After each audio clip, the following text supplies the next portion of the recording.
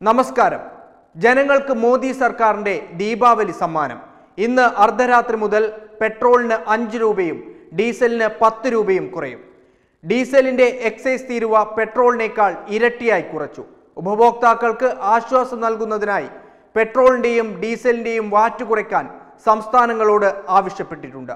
Petrol diesel വില വർധനവ് ചൂണ്ടിക്കാട്ടി നരേന്ദ്രമോദി സർക്കാരിനെ പ്രതിരോധത്തിലാക്കാമെന്ന പ്രതിപക്ഷ തന്ത്രമാണ് കേന്ദ്ര സർക്കാരിന്റെ തീരുമാനത്തിലൂടെ പൊളിഞ്ഞത്. കേരളം അടക്കമുള്ള പ്രതിപക്ഷ പാർട്ടികൾ ഭരിക്കുന്ന സംസ്ഥാന സർക്കാരുകൾ ഇന്ധന ഉൽപ്പന്നങ്ങൾക്കുമേലുള്ള സംസ്ഥാന നികുതി കുറയ്ക്കാൻ തയ്യാറായിരുന്നില്ല. മറിച്ച് അവർ എല്ലാത്തിനും കാരണം കേന്ദ്ര സർക്കാരാണ് എന്ന നിലപാടാണ് സ്വീകരിച്ചിരിക്കുന്നത്.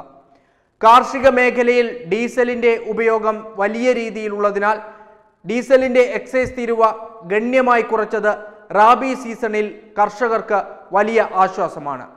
കേന്ദ്ര സർക്കാർ ആവശ്യപ്പെട്ടതനുസരിച്ച് കേരളമടക്കമുള്ള സംസ്ഥാന സർക്കാരുകൾ വാറ്റ് നികുതി കുറയ്ക്കുമോ എന്നാണ് കാണേണ്ടത്.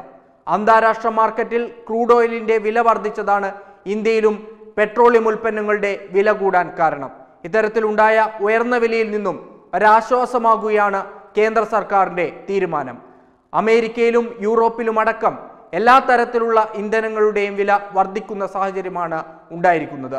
ഇന്ത്യൻ ഉപഭോക്താക്കളെ ഇതിൽ നിന്നും പരിരക്ഷിക്കുന്ന തീരുമാനമാണ് ഇപ്പോൾ മോദി സർക്കാർ സ്വീകരിച്ചിരിക്കുന്നത്. Web desk Tatwamayi news.